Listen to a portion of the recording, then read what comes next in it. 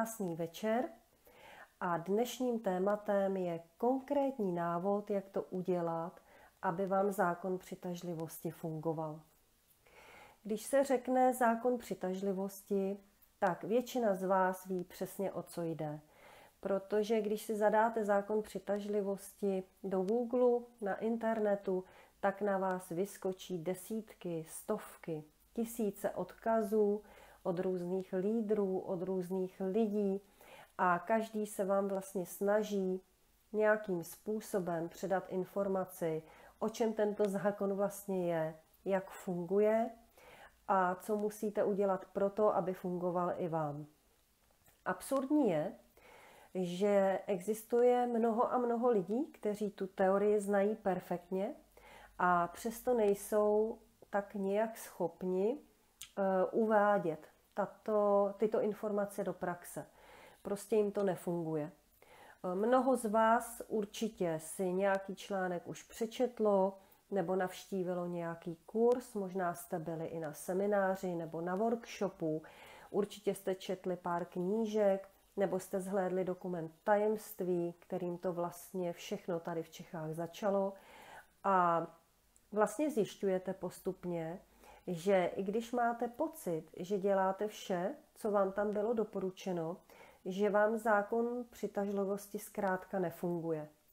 Že vám chodí jak šťastné náhody, tak ale i nepříjemné věci nebo krize do, vaše, do vaší životní reality, do vašeho každodenního života. A tak tak nějak o tom začínáte pochybovat a nevíte, proč se tomu tak děje. Já když jsem začala praktikovat věci, které se týkaly zákonu přitažlivosti, tak jsem na tom byla podobně. Byť jsem se jakoby s tím, že existuje, seznámila hrozně brzo. Ještě tady v Čechách si myslím, že to ponětí o zákonu tady nebylo, protože jsme čerpali ze zahraničí. A přesto, když jsem to zkoušela, tak někdy se mi zadařilo, někdy se mi nezadařilo. A já jsem pořád jako tápala a pořád jsem hledala. A vlastně čím víckrát se mi nepotvrdilo to, že to funguje, tím víc jsem pochybovala a samozřejmě jsem se potom ocitla na nějaké neprospěšné spirále. Ale k tomu se dostanu. Podstatné je, že když se mi něco vyloženě povedlo v mém životě, tak jsem to i přestala zákonu přitažlivosti připisovat. Prostě jsem si řekla, že to je náhoda, nebo že to je osud, nebo že to tak mělo být. Když se mi něco nepovedlo, tak jsem si zase říkala, že mám smůlu a tak podobně. A nebyla jsem schopna jakoby ten zákon přitažlivosti používat na vědomé úrovni. To znamená určit si záměr, vědět, co chci a ten záměr naplnit. Vždycky se mi naplňovaly věci, které jsem jakoby chtěla, ale vůbec vlastně jsem je neměla vyzáměrované. Vůbec jsem si je nedala jako nějaký cíl v tu konkrétní dobu. Potom se mi zase nepovedly věci, o kterých jsem si myslela, že po nich toužím a který chci. A možná tyto stavy znáte i vy, takže e, člověk si něco přečte nebo člověk si o tom něco poslechne, je vlastně nadšený, je plný takové té e, motivace a intenzity té energie a teď to zkouší den, dva, tři, týden a nejde mu to. A nedej bože, když se v tuto dobu stane i něco, co vlastně vůbec nechtěl, tak dříve nebo později na ten zákon rez, jakoby rezignuje a řekne si, že prostě to zřejmě nefunguje nebo že to neumí používat. A já, když jsem se ocitla v tomto podobném rozpoložení, tak jsem si řekla, že tomu přijdu na kloup a že tomu prostě věnuju rok a budu opravdu dělat konkrétní věci, a konkrétní postupy eh, s tím cílem, abych přišla na to, proč to někomu opravdu funguje a proč to někomu nefunguje. A proč to nefunguje tolika lidem, kteří se vlastně řídí postupy těch lidí, nebo alespoň eh, těmi zveřejněnými postupy těch lidí, kteří vypadají na venek, že jim tento zákon funguje. Myslím na vědomé úrovni, protože na té nevědomé nám funguje všem, ať chceme nebo ne. Ale teď se bavíme o tom, když opravdu po něčem toužíme, jak to udělat, abychom to naplnili. To je ten náš cíl A to je vlastně i cíl toho dnešního živého vysílání, abyste nějakým způsobem pochopili taková, takové ty body, které nelze obejít a o kterých se zas až tolik často nemluví. Já, když jsem psala o zákonu přitažlivosti článek na můj blog, tak jsem jeden z těch bodů nazvala Tanec na vlastním hrobě. Ono to zní poměrně šíleně, ale je to nejzásadnější bod.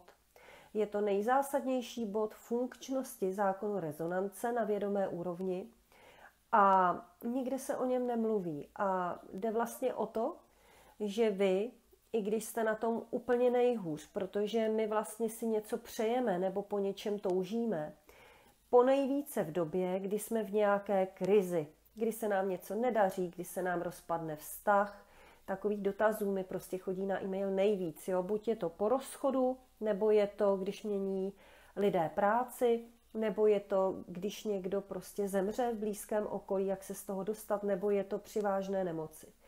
A to jsou takové oblasti, které jsou nejčastější, kdy ten člověk jakoby sedne, ponoří se do té a hledá východisko, hledá cestu ven. Se nějak i směruje a ten člověk prostě hledá klíč, jak to udělat, aby se mu ulevilo. A v této chvíli většina z vás narazí na zákon přitažlivosti. A pokud se nacházíme v neprospěšném, jakoby myšlenkovém rozpoložení, tak opravdu je to velmi a velmi a velmi komplikovaná věc, protože pokud chcete, aby vám zákon rezonance fungoval, tak vy se musíte naučit v jakékoliv situaci a v jakémkoliv vnitřním rozpoložení uh, udělat si a zrealizovat si, kdykoliv budete používat zákon rezonance nebo zákon přitažlivosti vědomě, reálný pocit štěstí. A ve chvíli, kdy se nám chce prostě brečet, kdy se nám něco nedaří, kdy nás někdo opustí a tak dále, tak my si dovedeme velmi rychle a velmi dobře vyzáměrovat naše přání. To znamená, my víme přesně, co chceme. E, dokážeme i jakoby to popsat do detailů, protože většinou je to něco z toho, o co jsme přišli, nebo něco z toho, co zrovna nemáme. Je to logické. Takže my víme velmi dobře, co chceme a máme pocit, že podle toho jednoduchého návodu z dokumentu tajemství si to stačí přát, potom na to zapomenout a pak čekat, až se nám to splní. Ale ono to nestačí. A já jsem měla možnost před lety vlastně s autorkou tohoto dokumentu v zahraničí mluvit.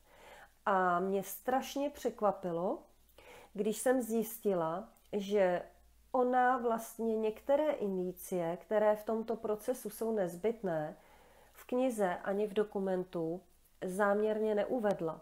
A docela mě i překvapilo, když na otázku, že prostě e, jsou takové nuance a indicie, o kterých budu dneska hovořit a které já třeba považuji za důležité, protože až potom mi to začalo fungovat, že tam prostě v té knížce nejsou, tak se mile usmála a řekla, že kdyby tam byly, že opravdu je těžší jakoby z té knihy udělat bestseller. A ona je to asi pravda protože většina lidí dnešního světa je pohodlných, z komfortní zóny ven se jim nechce a je pro mě velmi motivující si přečíst, že si stačí něco přát, potom to vypustit do vesmíru a pak čekat, až se to splní. Jenže to bychom mohli všichni čekat taky na Godota. Takže teď si vysvětlíme, jak to je a jak eh, si můžete přát tak, aby se vám to plnilo doopravdy, abyste ty výsledky viděli. Takže eh, tanec na vlastním hrobě, jak už jsem se tady zmiňovala, to je vlastně věc, která je nejpodstatnější. Je to pohon, je to raketový pohon toho vašeho přání. Pokud vy si něco přejete, pokud víte přesně, co to je, a pokud chcete, aby nějakým způsobem se to začalo zhmotňovat, tak vy se musíte dostat do správné vibrační úrovně vaší energie. Ta vlastně splní to, co chcete. Eh, velkou chybou je, že my většinou si ty pocity a emoce toho štěstí a nadšení dokážeme představit, anebo je dokážeme prožít, až když jakoby se nám to tady zhmotní, až když to přání máme, ale pokud zůstaneme zacyklený tady v tom vzorci, tak se vám nesplní nic. Vy se musíte dostat před ten vzorec a ty emoce, které máte poté, co to přání dostanete, musíte mít předtím, než ho tady v této pozemské rovině uvidíte. To je zcela zásadní a musíte je prožít opravdově a to tak, jako kdyby se vaše přání už splnilo.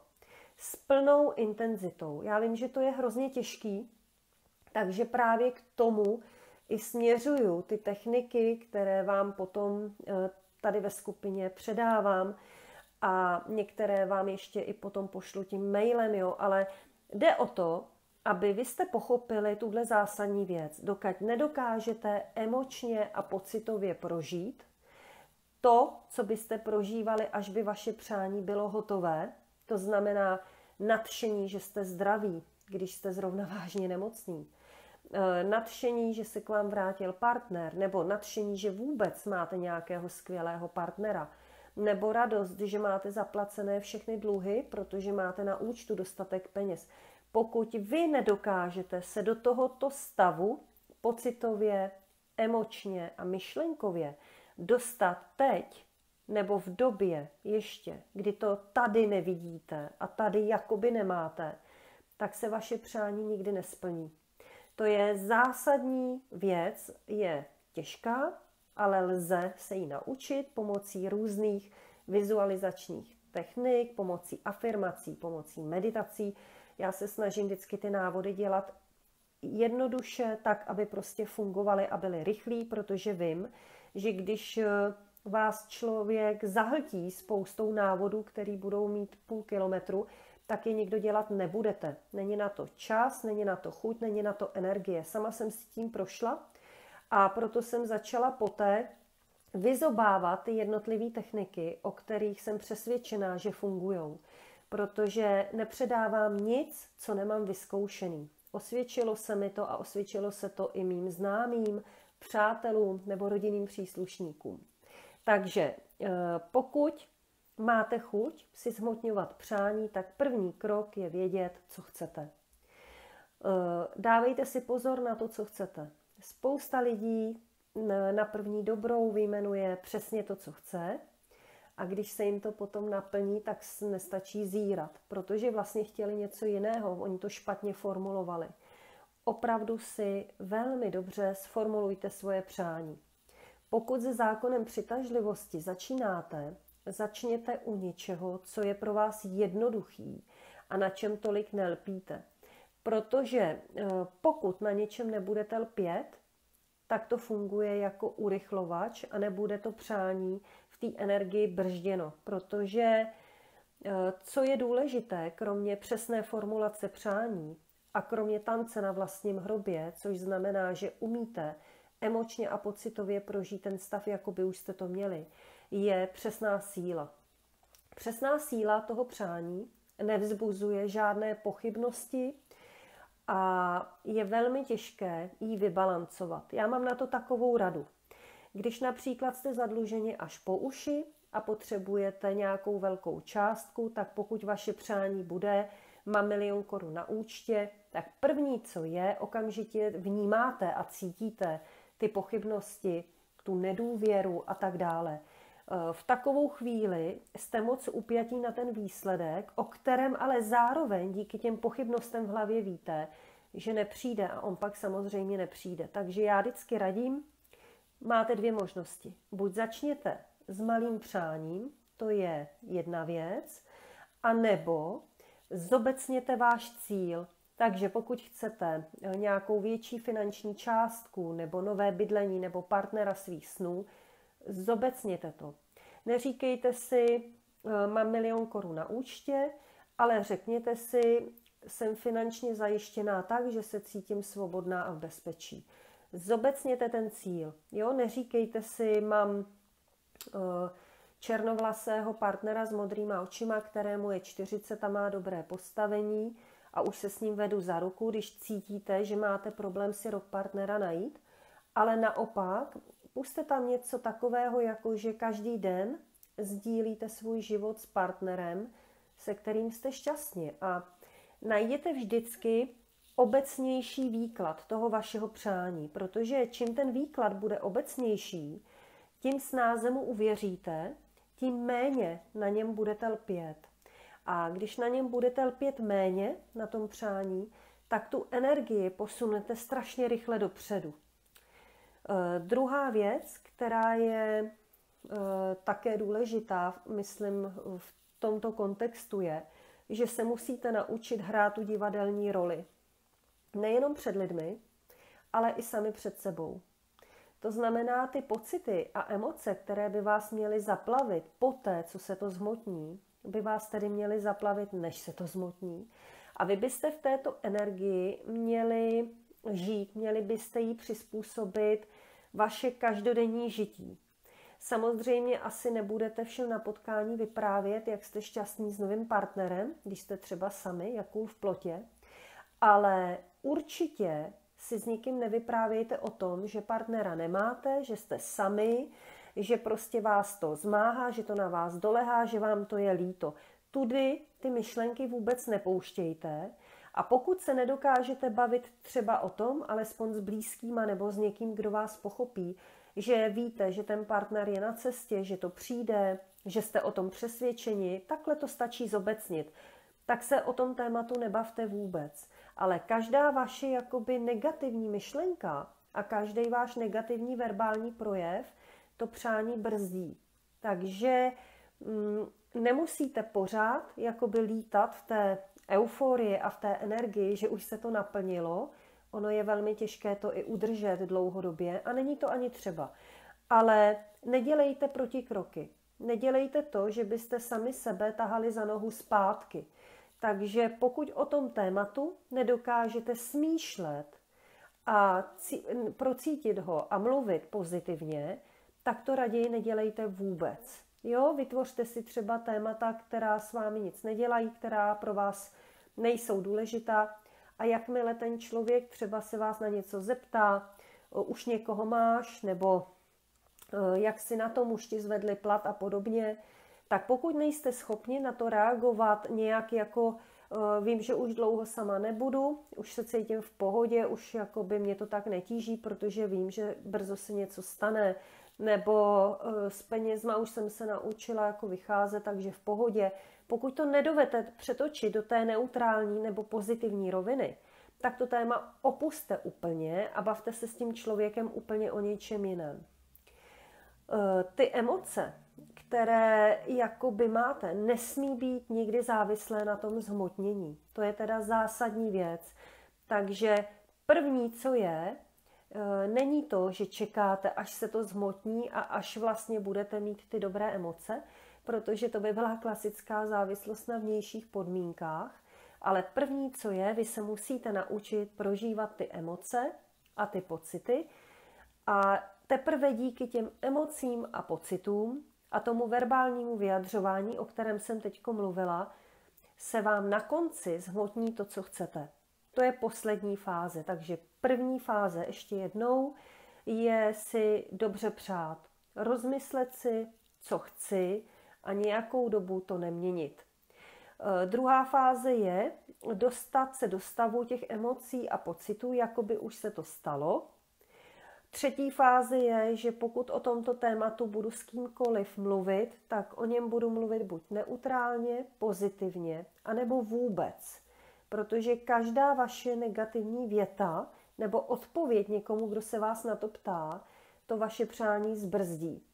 A čtvrtá věc je ta přesná síla, kdy, když vnímáte, že vaše přání ve vás vyvolává vnitřně okamžitě odpor, že prostě se to nestane, že tomu nevěříte. I když si stokrát omíláte, že tomu věříte, prostě to cítíte. Ten první pocit, který máte uvnitř, tak zobecněte vaše přání. A zobecňujte ho až do takové roviny, kdy ucítíte, že tomu věříte, že to pro vás není problém. Takže ubírejte z detailů a nechte to přání jakoby spíš se opřít o ty emoce. Jo, vždycky se zeptejte sami sebe, když ho budete záměrovat, jak se chci cítit, až se tohle a tohle stane. A začněte tím, že se tak budete cítit, protože to je naprosto zásadní. Takže snad jsem vám pomohla, moc vám děkuji, že jste tady byli a dám vám k tomuto videu odkazy, které by vás mohly zajímat. Mějte se krásně.